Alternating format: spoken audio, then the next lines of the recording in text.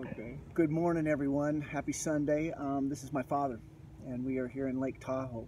Dad, you're talking to uh, this community of of people that uh, this newsletter goes out to. Hi, everyone. exactly. So I wanted to have this conversation um, with my dad and with you all because my father's been an, an, integral part of this dream, obviously. I've been doing this for 31 years, but it hasn't been easy along the way for either one of us. And dad, you know, you can imagine there's a lot of these people that get this newsletter that want to be actors. And, you know, their parents uh, either uh, don't approve of it. I mean, literally don't approve of it. Like some, some people, if they, when they announce this to their parents, um, you know, there's a big pushback. And other people, it's, you know, it's, it's everything in between. So would you, from your perspective, from a parent's perspective, what's it like to have your kid walk in and one day and say, I want to be an actor? Well, it was quite a shocker, and I probably didn't handle it all that well.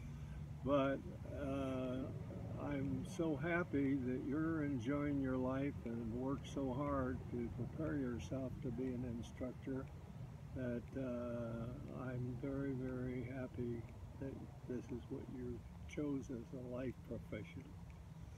But what about from your like? So that's now 31 years later. But when you what did here? Let me could you please give advice to all of the people who watch this, to their parents right now? What advice would you give to a, to a dreamer walking into their parents who just want their kid to have a safer, easier life than they did? And when they announce they want to be an actor, it's quite a blow. What advice would you give to the parents of a young actor?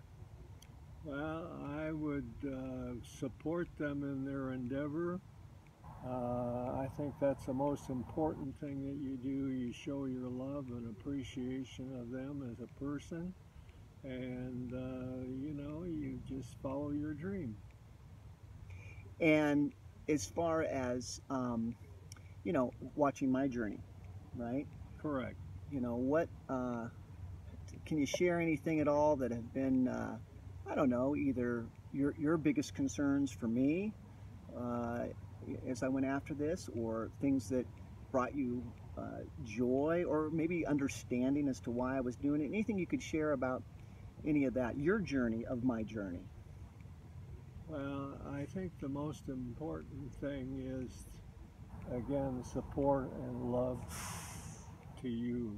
Uh, that that wasn't always there for you, and I'm regretful of that but I'm so happy to see you successful at what you're doing, and that makes me proud and happy. Mm-hmm.